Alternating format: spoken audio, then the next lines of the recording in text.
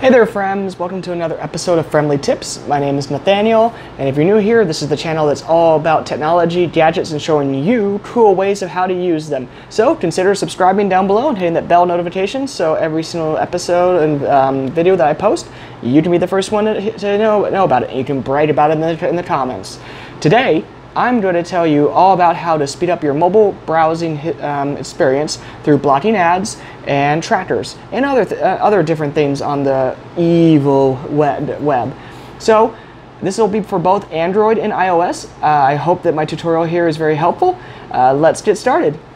So why should you care about speeding up your mobile browsing experience? Well, kind of obvious with how I'm kind of phrasing the question, but uh, the faster you can speed up your mobile browsing experience, um, the less data you're to be able to, you're to be using, um, the faster you'll be able to go through web page after web page, and you won't have to sit there on a slow connection trying to have a page load. It also can help you uh, eliminate um, trackers on your on your mobile browsing experience. Uh, trackers are used from sites all across the web, like Google, Amazon, Facebook. Those are kind of the big ones that track you wherever you go uh, to try to then resell you ads um, to target, or sorry, not to resell, to target ads towards you. So uh, this kind of this um, kind of helps uh, keep yourself a little bit more private with them, but also it, it gives you added benefits of faster speeds and not using as much data and uh, in the end, actually, it does save battery life because of the fact that your phone's not having to pull down as much cellular data. Okay guys, so first up, we have iOS here, or this will work for iPad and also for your phone here. So what I'm going to talk to you about is an app called 1Blocker. They have a older version that's free on the App Store called 1Blocker, and then they have the newer version 1Blocker X that's five dollars. Um, I highly recommend the 1Blocker X based off of everything I'm going to show you what it can do, but if you're um, wanting to just try it out and see if it works, well, you can always download the original 1Blocker and go from there. So as I was mentioning, this um, service helps uh, speed up your browsing history and also blots different trackers and annoyances on the web. So how it works is you first download the apps, and then when you open it up, it'll kind of walk you through the tutorial, but I'm just going to skip that and kind of show you exactly what to do. So you go over to your settings, and you first need to go over down, scroll down to Safari. When you hit Safari, you're going to scroll down to content blockers. So what I'm going to do here is I'm just going to enable the um, free one, and I'll show you the paid one in a minute, but so we're just going to enable the free one. And actually, I'm actually going to back up and show you kind of what, I, what it looks like. So, uh, run browser. I'm going to show you what of looks like. So on ESPN here, as you can see here, right up here, it's going to load an ad in a second. So that's what we don't want on sites, because that helps, that slows down the page. As you can tell, page kind of loaded, and that loaded in the background. So what you want to do is you want to go over to 1Blocker here and enable it. And then when you go into one block, you want to enable blocked ads.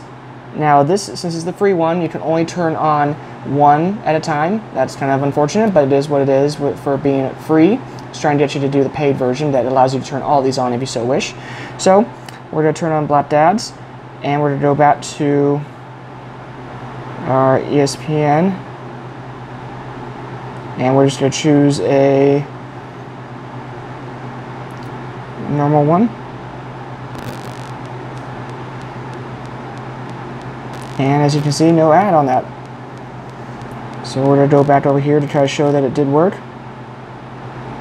We're going to go back over here and reload.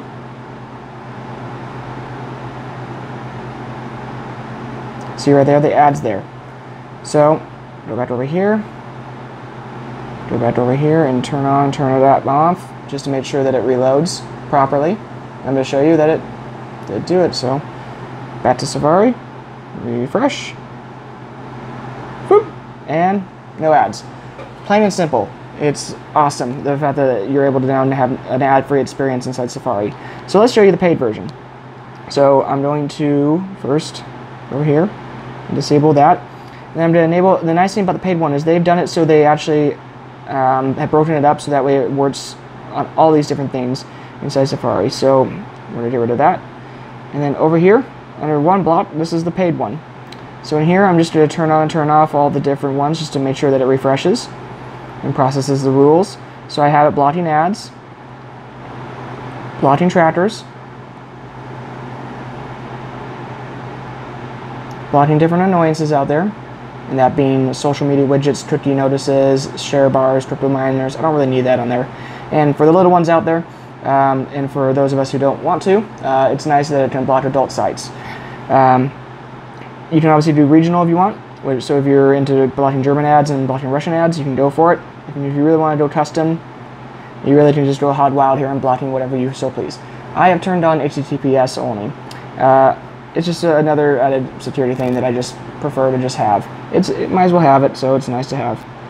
So then under settings, Touch ID Cloud Sync, so it actually syncs with your iPad if you have one, which is kind of nice. Um, so and then it has news with their blog posts. So really doesn't don't really need the new the news one. It's more about rules. So let's see what it looks like. So go over here after I enabled all that. Go back over to ESPN. Refresh. We'll make sure that that ad's gone. And see how much faster it loaded.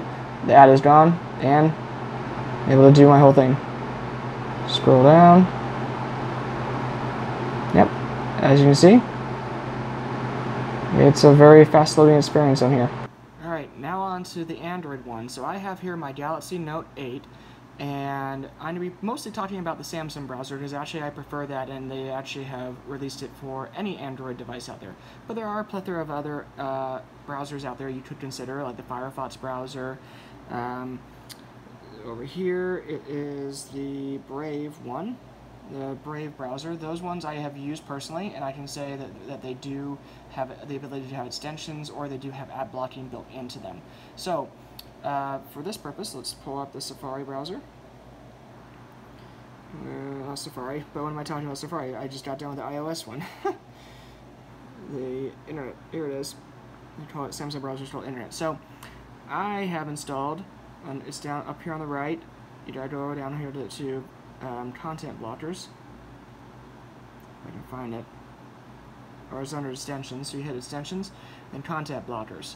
So I have downloaded and installed Disconnect for Samsung Internet. I prefer that one over the others. There's obviously a whole bunch of other ones that Samsung's going to recommend. Um, I have tried out personally the AdBlock Plus, the, the Crystal one, and the, let's see, the AdGuard one.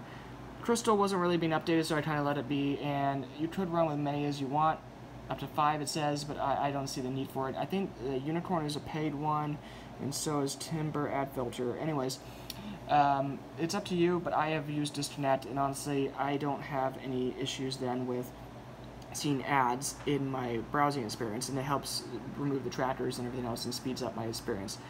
Now, so that's just for the Android users out there.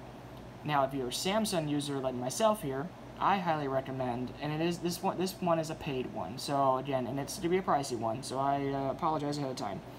It's called Disconnect Pro for Samsung. It hooks into Knox on the Samsung, so it actually works as kind of like a um, DNS filter. So it kind of helps um, filter everything on the device, not just your browser. So that's why I've been using Chrome because this app here filters and blots trackers and uh, ads across the whole operating system so I can use whatever device I want or whatever app I want.